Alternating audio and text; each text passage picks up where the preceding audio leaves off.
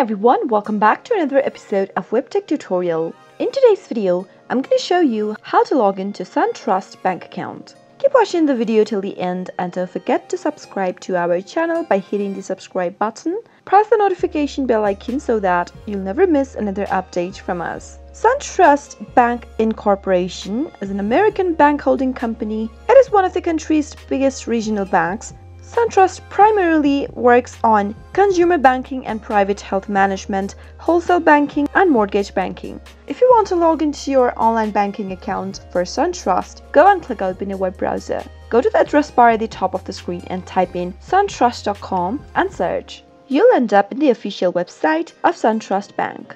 If you don't have an account yet, you can start by signing up for a new account. Click on Open an Account button in the top right corner and register first. Once you have an account, you can simply go ahead and enter your user ID and your password inside the sign-on box at the right corner from the display. First, choose whether you would like to log into your online banking site or your business online. Once you click on one of your choices, enter the user ID in the next text box. Now, head over to the password text box and type in your password that is associated with the account. In case you've forgotten your user ID, then you can click on this link right here where it says forgot user ID slash password. Similarly, if you don't remember your password, you can click on the same link and then follow the instructions to reset to a new password or to look for your user ID. If you'd like the system to remember your user ID, then click on remember user ID box right here and make sure to leave it checked. But if you are using a public or a shared device, make sure to uncheck this box before moving on. And finally, after everything's typed in, click on sign on in order to sign into SunTrust bank account.